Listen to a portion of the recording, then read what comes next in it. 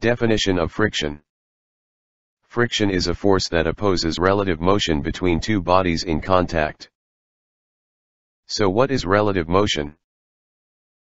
Now, look at this example. Cars are moving on the road. The car and the road are in contact. The car is moving. The road is not moving. But, the car is moving relative to the road. Again, car is moving in this direction. The road is not moving. But, the car is moving relative to the road.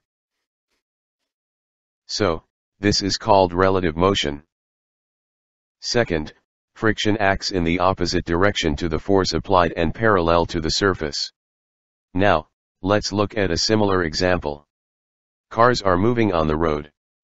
The cars and the road are in contact and are in relative motion. The car is moving in this direction with a certain force. Friction will act in the opposite direction. Friction acts parallel to the surface and never perpendicularly. Third, the frictional force depends on the type of sliding materials.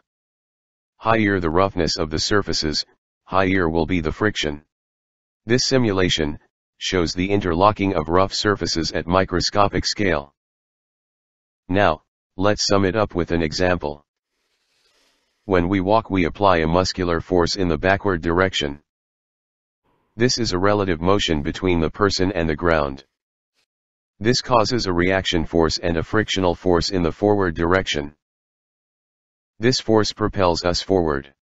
Let us also discuss about the formula for friction. Frictional force is equal to mu into m into g, where m into g is the normal force, where mu is the coefficient of friction at point of contact between the shoe and the ground.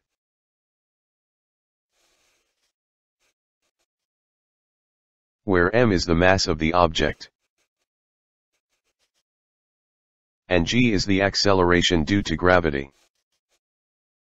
If you like this video, then please don't forget to subscribe like and share.